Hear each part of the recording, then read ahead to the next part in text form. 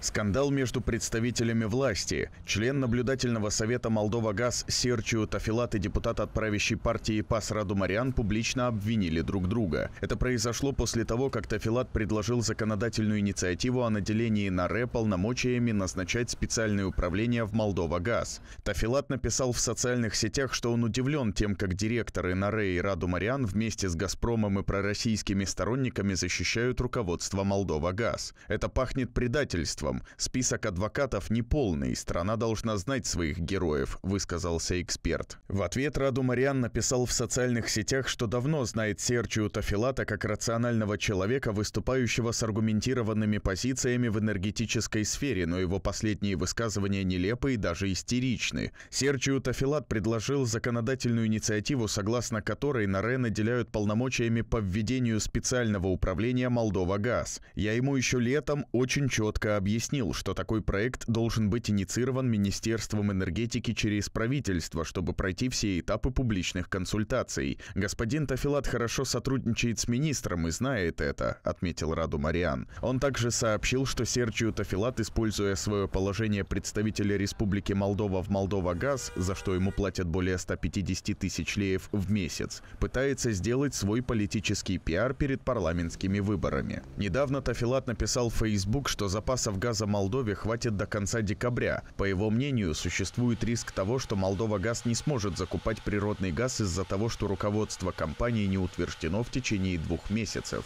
В этой связи Тафилат предложил зарегистрировать в парламенте законопроект о временном внешнем управлении компанией. В ответ Национальное агентство по регулированию в энергетике выступило с заявлением, в котором подчеркивается, что необходимости в такой инициативе нет, поскольку действующее законодательство обеспечивает эффективное управление корпоративным управлением, не влияя на энергетический рынок или стабильность сектора.